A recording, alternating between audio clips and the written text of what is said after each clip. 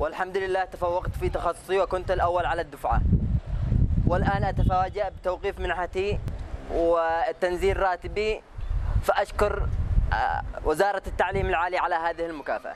المكافأة التي يتحدث عنها هذا الطالب المبتعث للدراسة في الأردن تقضي ألا يستلم منحته المالية للشهر الثالث على التوالي وقد حاول أن يتحدث مباشرة إلى وزارة التعليم العالي وإن بصيغة فيها عتب إلى جوار العشرات من زملائه. الذين أوقفت حقوقهم المالية.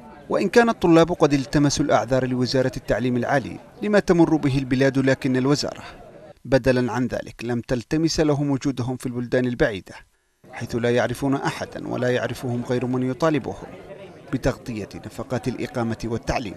ولا تقتصر معاناة الطلاب المتواجدين في الأردن بل تذهب إلى معظم الدول التي يتواجد فيها دارسون. ففي باكستان نظم الطلاب احتجاجات ووجهوا رسائل أبدوا فيها استنكارهم من إيقاف حقوق ما يزيد على 48 طالبا مبتعثا.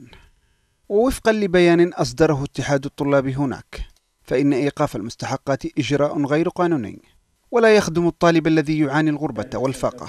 ومع ذلك يحلم باليوم الذي يخدم فيه وطنه.